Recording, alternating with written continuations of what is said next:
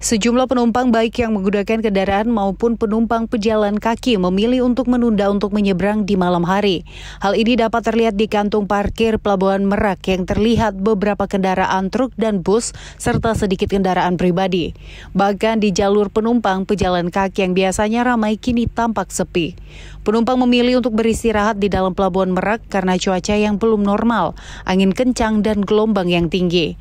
Salah satu penumpang asal Jakarta, Isvan bersama teman teman-temannya yang hendak berlibur ke Pulau Sumatera terpaksa menunda keberangkatannya dan memilih tidur di pelabuhan hingga cuaca normal untuk menghindari hal-hal yang tak diinginkan saat di tengah laut.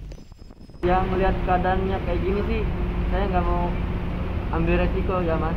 Jadi saya terpaksa harus nunggu sampai besok siang. Kalau keadaan sudah aman, baru saya berani berangkat.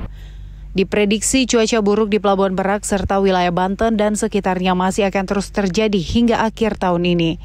Irwan Sew Jak TV.